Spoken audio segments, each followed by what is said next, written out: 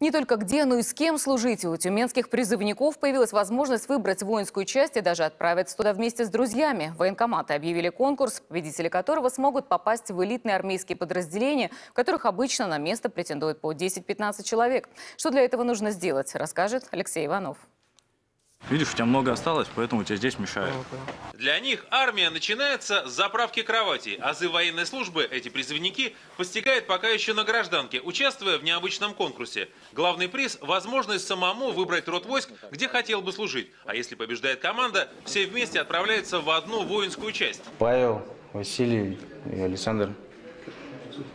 Вот вместе идем в ГРУ 15. Мы написали анкету и вместе ну, обозначили наши фамилии, что мы вместе идем. Сначала заполнение заявки в интернете, затем приглашение на военно-врачебную комиссию. Здоровье у конкурсантов должно быть отменным, выдерживать любые нагрузки. Поэтому и осматривают их словно это не призывники, а кандидаты в отряд космонавтов. Левую ногу поднимаем, стоим только на правой ноге. Проходим с друзьями медкомиссию. У всех категория А, высшая категория, поэтому у нас как бы право выбора с друзьями. И вот надеюсь попасть в элитные войска и в одну часть. Один из самых часто задаваемых вопросов в военкомате – как призваться и служить вместе с лучшим другом. Кто-то из офицеров идет навстречу. Иногда отказывают. Когда в Тюменской области объявили конкурс призывников, поучаствовать в нем решили даже те, кто в армию до этого не собирался. В некоторых родах войск э, есть э, на, на одно место претендуют по 10-15 человек. А выиграв в данном конкурсе, вы получаете гарантированное право. При приземлении ножки вместе, стопы параллельно земле, ручки на свободных концах. Приготовиться. Пошел.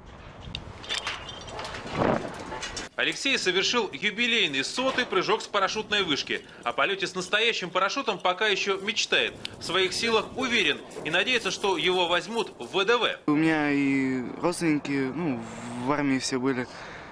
Все- фильмы смотрел про десантников. Занимался спортом и тренер бывший десантник, поэтому вот хочется. Военно-полевые сборы – основной этап конкурса. 100 человек доказывают, что они лучшие. Устраивают сражения в пейнтбол и страйкбол, на скорость делают то, что пригодится каждому бойцу. Разбирают и собирают автоматы.